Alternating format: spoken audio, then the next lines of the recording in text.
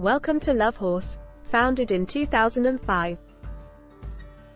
Today, we've got an exciting and informative video for you, especially if you're in the UK and are considering buying a horse or a pony.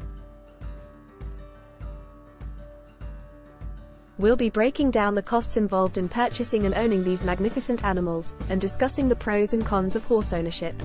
So, dismount, grab a cup of tea, and let's dive in. Costs of buying a horse. First, let's talk about the cost of actually buying a horse in the first place.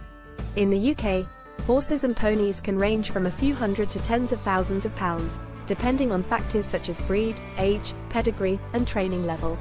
On average, you can expect to pay around £2,000 to £5,000 for a decent horse suitable for recreational riding, with top-level competition horses costing significantly more. Keep in mind, this is just the initial purchase cost, there are many other ongoing expenses to consider. Costs of livery. One of the main costs of owning a horse is livery, which is basically the horse's accommodation. There are several types of livery options available, including DIY, part, and full livery. Prices can vary widely depending on location and services provided. A DIY livery, where you take care of your horse's needs, can cost around £25 to £50 per week. Part livery, which includes basic care, usually ranges from £80 to £120 per week. Full livery, which covers all aspects of care, can set you back anywhere from £120 to £200 or more per week. Basic equipment and clothing, now, let's talk about basic equipment and clothing. You'll need a saddle, bridle, grooming kit, rugs, and other essential items for your horse. The cost of these items varies depending on the quality, but you can expect to spend around £500 to £1,500 or more to get started. For your own riding gear, budget at least £200 to £300 for essentials like riding boots, helmet, jodhpurs, and a riding jacket. Medical bills, equine dentistry, and farrier. Horses, like humans, need regular checkups and care. Routine veterinary care, including vaccinations and worming, can cost around £200 to £300 per year. Equine dentistry is another essential service, with an annual visit costing around £60 to £100. And don't forget about your horse's hooves. A farrier visit for trimming and shoeing typically ranges from £20 to £40 for a trim and £60 to £100 for shoeing, with visits needed every 6 to 8 weeks. Pros and cons of horse ownership. So, now that you have an idea of the costs involved in owning a horse in the UK, let's discuss the pros and cons.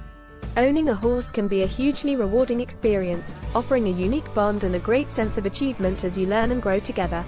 It also provides excellent exercise and can lead to lifelong friendships with fellow horse enthusiasts. However, horse ownership is a major time and financial commitment. The costs we've discussed can add up quickly, and emergencies or unexpected expenses are always a possibility. Additionally, horses require daily care and attention, which can be demanding on your schedule. Before making the decision to buy a horse, it's important to consider alternative options, such as sharing or leasing a horse, which can offer many of the same benefits at a fraction of the cost and commitment. In conclusion, owning a horse in the UK can be a dream come true for many, but it's essential to be aware of the costs and responsibilities involved. From the initial purchase price to ongoing expenses like livery, equipment, and healthcare, horse ownership is a significant investment of both time and money.